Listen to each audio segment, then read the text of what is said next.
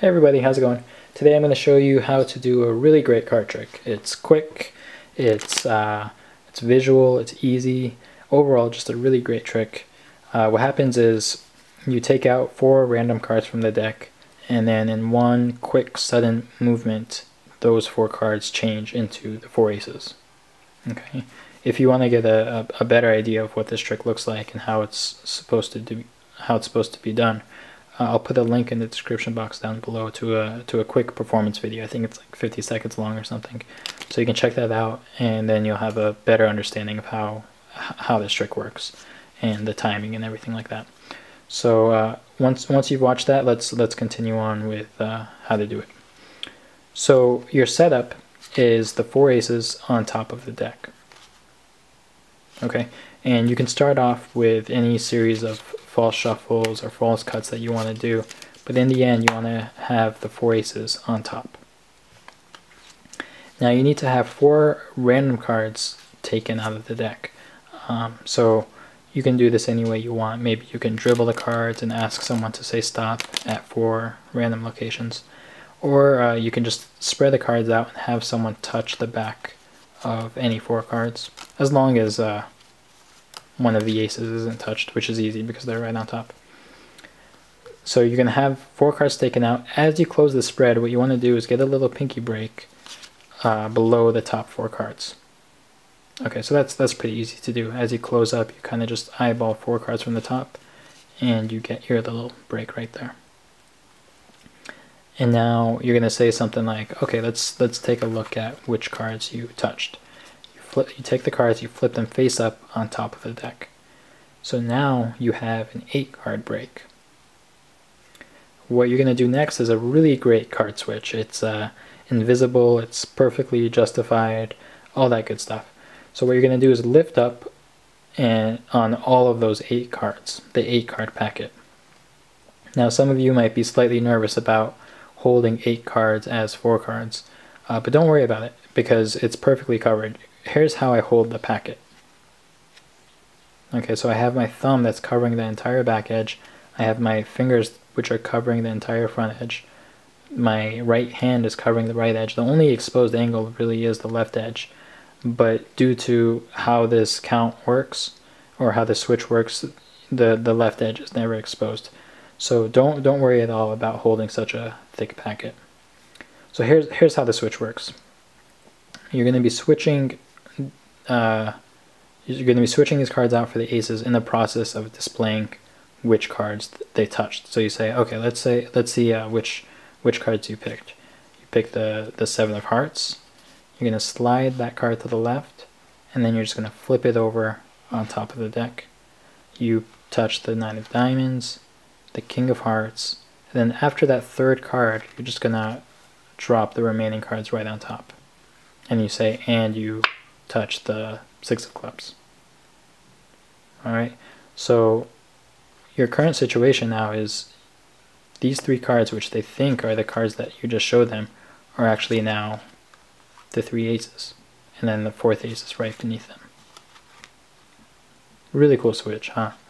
Okay, so what you're going to do now is, I guess this is uh, the part that I kind of want to focus on because I see a lot of people at this point what they'll do is they'll take the last card, they'll deal it down onto the table, then they'll deal the three aces, which are supposed to be the cards they just saw, down into a row like this.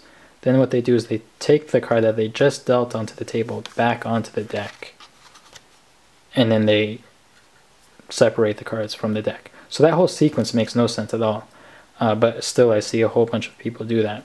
So what I do to kind of combat the the the fishiness of that whole situation is you know really what you need is a way to justify separating this card from the deck bringing it back to the deck and then separating it from the deck again. So here, here's how I do it.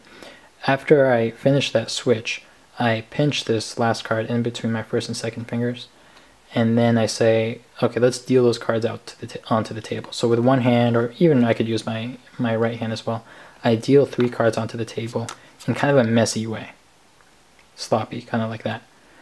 And now what I do is, you know, I'm, I'm justified in bringing this card back to the deck because now I need this hand in order to rearrange these cards into a neat row.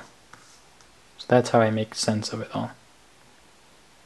Alright, and then from there I can separate this card again. So it's a much cleaner, much more natural eh, way of doing it. It just makes makes more sense. So let me uh, just uh, backtrack for a second. You're going to pinch the card, deal three cards down in sloppy way. And then what you're going to do is you're going to push over the top card just a little bit and get a little pinky break below it. You bring this card back, leave it side jogged for a second. As you are rearranging these cards into a neat row, I pull this card flush with, uh, with the rest of the deck. Okay, so I have a neat row, and they say, okay, watch this. And then I usually do a, a two card push off, but you can just pick up those two cards, and you're going to slide them under the three cards that were just dealt onto the table. You lift up, balance the cards, and you know, you say something, don't blink, whatever. And here's what's happening. Under the guise of these three cards, here's what you're doing with your right hand.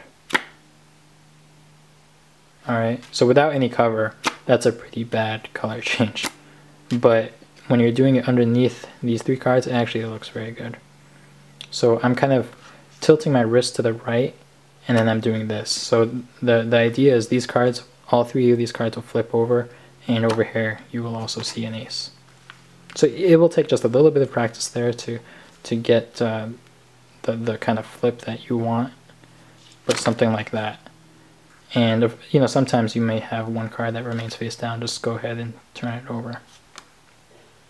All right, so there's one last thing that I need to talk about right there, is that what you do with those right hand cards right after you do the switch. So you're gonna have your little row, you're gonna do your flip, uh, like this, you're gonna do your flip, and immediately you're gonna take these cards, bring them back to the deck, and then you're going to thumb off the single ace. Just like that, you have your four ace production. So that whole sequence happens in less than a second, just like that.